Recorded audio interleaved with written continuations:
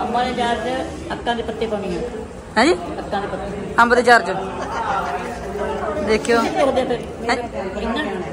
ਚਾਰ ਨਾ ਉਸ ਦੀ ਚਾਹੀਆਂ ਹਟਣ ਦੀ ਜਾੜ ਦੀ ਮੂੰਹ ਪੱਕੇ ਦੀ ਗੋਡਿਆਂ ਦੀ ਤੇ ਕਰ ਸਿਕਰੀ ਦੀ ਤੇ ਪਰਫਿਊਨ ਸੁੱਕਾ ਸਰਫ।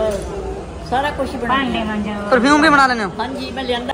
ਵਾਹਿਗੁਰੂ ਜੀ ਕਾ ਖਾਲਸਾ ਸ੍ਰੀ ਵਾਹਿਗੁਰੂ ਜੀ ਕੀ ਫਤਿਹ। ਅੱਜ ਆਪਾਂ ਪਹੁੰਚੇ ਹਾਂ ਜੀ ਸੰਤ ਕਬੀਰ ਜੀ ਦਾ ਗੁਰਦੁਆਰਾ ਮਗਹਰ ਵਿਖੇ। ਤੇ ਆ ਸਾਡੀ ਸੰਗਤ ਵੱਲੋਂ ਸੇਵਾ ਜਿਹੜੀ ਚੱਲ ਰਹੀ ਹੈ। ਪਿਆਜ਼ ਕੱਟੇ ਜਾ ਰਹੇ ਨੇ ਸਬਜ਼ੀ ਤਿਆਰ ਹੋ ਰਹੀ ਹੈ। ਆ ਸਾਡੀ ਸੰਗਤ ਹੈ ਜਿਹੜੀ ਸਾਡੇ ਨਾਲ ਆਈ ਹੈ। ਅਸੀਂ ਇੱਥੋਂ ਪਟਨਾ ਸਾਹਿਬ ਜਾਵਾਂਗੇ। ਤੇ ਮਿਲਾਉਣੇ ਆ। ਆ ਸਾਡੀ ਬੇਬੇ 80 ਸਾਲ ਦੀ।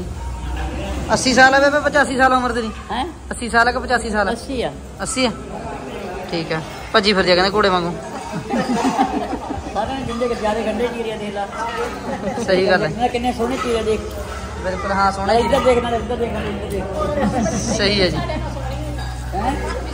ਉਹ ਮੈਂ ਸੋਹਣੀ ਨਹੀਂ ਆਹੀ ਤਾਂ ਗੱਲ ਆ ਸੋਹਣੀ ਦੀ ਗੱਲ ਆ ਉਹ ਸੋਹਣੀ ਨਹੀਂ ਹੈਗੀ ਮੈਂ ਕਿਉਂ ਨਹੀਂ ਬੀਬੀ ਸੋਹਣੀ ਹੈਗੀ ਸਭ ਤੋਂ ਜ਼ਿਆਦਾ ਸੋਹਣਾ ਹੁੰਦਾ।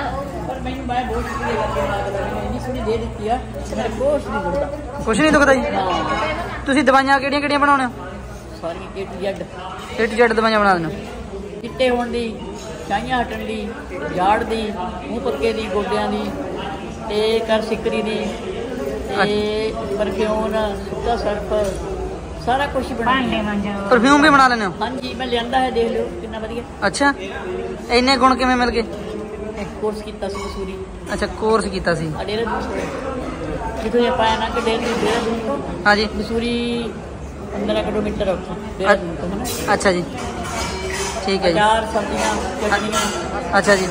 ਸਾਰਾ ਕੁਝ ਤਿਆਰ ਕਰ ਲੈਣਾ ਅੰਬਾਂ ਦੇ ਚਾਰ ਚ ਅੱਕਾਂ ਦੇ ਪੱਤੇ ਪਾਉਣੀ ਹੈ ਜੀ? ਅੱਕਾਂ ਦੇ ਪੱਤੇ। ਅੰਬ ਦੇ ਚਾਰ ਚ। ਦੇਖਿਓ। ਅੱਛਾ ਜੀ। ਠੀਕ ਹੈ ਹੈ ਜਿਹੜਾ ਅਦਰਕ ਦਾ ਚਾਰ ਆ ਉਹ ਤੁਹਾਨੂੰ ਤੇਜ਼ਾਬ ਵੈਸੇ ਨਹੀਂ ਬਣ ਦੋ ਤੇ ਨਾਲੇ ਉਹ ਖਰਾਬ ਨਹੀਂ ਉੱਪਰ 5 ਸਾਲ ਖਾਈ ਜਾਏਗਾ। ਅੱਛਾ 5 ਸਾਲ ਵੀ ਕੱਟ ਜਾਂਦਾ। ਤੁਹਾਨੂੰ ਕਟਿੰਗ ਕਰਕੇ ਦੱਸੂਗੀ ਵੀ ਐਂ ਕਟਿੰਗ ਕਰਨੀ ਹੈ ਜੀ। ਅੱਛਾ ਜੀ। ਠੀਕ ਹੈ ਜੀ। ਜੀ। ਠੀਕ ਹੈ ਜੀ। ਜੀ। ਧਨੀਆ ਲਿਆਏ ਹੋਣਗੇ ਜੀ? ਪੁੱਛ ਲੈਨੇ ਆਪਾਂ। ਬੇਬੇ ਕਹਿੰਦੀ ਧਨੀਆ ਨਹੀਂ ਲੈ ਕੇ ਆਈ ਕਹਿੰਦੀ ਸਬਜ਼ੀ ਸਾਰੀ ਲਿਆਂਦੀ। ਆਲੂਆਂ ਦੀ ਸੇਵਾ ਚੱਲ ਰਹੀ ਹੈ ਇੱਧਰ ਜਿਹੜਾ ਕੱਪ- ਕੱਪੜੇ ਲੀੜੇ ਨੇ ਉਹ ਧੋ ਕੇ ਅੱਜ। ਆ ਦਰਖਤਾਂ ਤੇ ਸੁੱਕਣੇ ਪਾਤੇ। ਬੇਬਿਆਂ ਨੇ। ਬੇਬੇ ਦਰਖਤਾਂ ਤੇ ਪਾਤੇ। ਹੁਣ ਹੀ ਲਾ ਲਾਂਗੇ? ਠੀਕ ਹੈ ਜੀ। ਹੈ ਜੀ? ਕਿਵੇਂ ਜੀ? ਇਹੀ ਮੌਜ ਹੈ ਬਿਲਕੁਲ ਬਿਲਕੁਲ। ਠੀਕ ਹੈ ਜੀ। ਚਲੋ। ਠੀਕ ਹੈ ਜੀ ਠੀਕ ਹੈ। ਤੇ ਹੁਣ ਅਸੀਂ ਸਾਡੀ ਜਿਹੜੀ ਸੰਗਤ ਹੈ ਜੀ ਉਹ ਪੈਦਲ ਯਾਤਰਾ ਕਰ ਰਹੀ ਹੈ ਜਿੱਥੇ ਭਗਤ ਕਬੀਰ ਜੀ ਕੋ- ਜੋਤੀ ਜੋਤ ਸਮਾਏ ਸੀਗੇ ਤੇ ਉੱਥੇ ਦਾ ਵੀ ਆਪਾਂ ਤੁਹਾਨੂੰ ਦਿਖਾਉਣੇ ਆ ਕਰਾਉਣੇ ਆ ਉੱਥੇ ਵੀ ਤੁਹਾਨੂੰ ਦਰਸ਼ਨ ਆਜੋ ਚੱਲੀਏ ਲਓ ਜੀ ਕਹਿੰਦੇ ਸੰਤ ਕਬੀਰ ਜੀ ਪਹਿਲਾਂ ਇੱਥੇ ਪਹੁੰਚੇ ਸੀ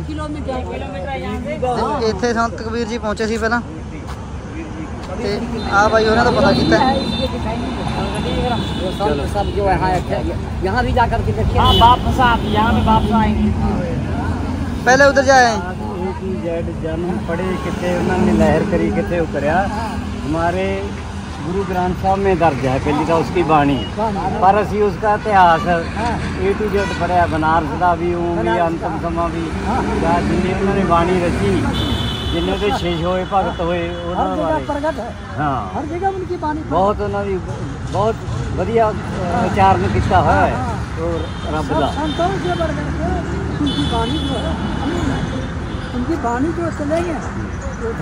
ਕਬੀਰ ਦੇ ਦੋਹੇ ਕਿਤਨੇ ਮਸ਼ਹੂਰ ਹੈ ਕਬੀਰ ਜੀ ਦੇ।